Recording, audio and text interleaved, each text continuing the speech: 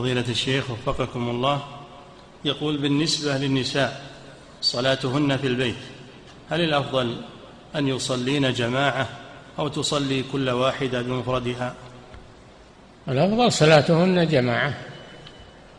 الأفضل صلاتهن جماعة. نعم.